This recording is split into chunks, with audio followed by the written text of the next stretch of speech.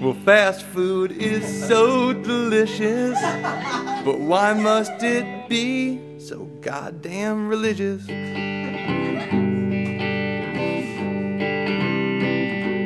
Well, Popeyes, if you ask me, it's an anagram in disguise. Pope, yes. Well, there you have it.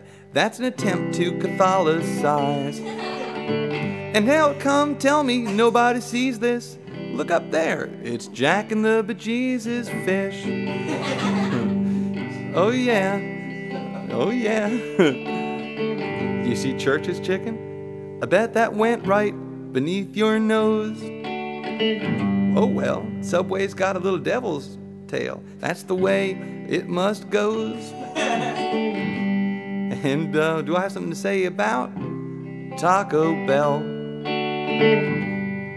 What does a church bell have to do with beans? What the hell?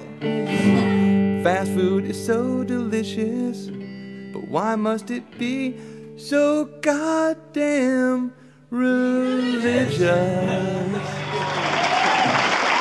My name is Jerm, and I am tall, dark, and lonesome, and I do live here in Austin, Texas, even though I started from New York. And I am at the Electric Lounge every Tuesday, at 8 o'clock. And coming up in about five minutes, that give you five minutes to get to know your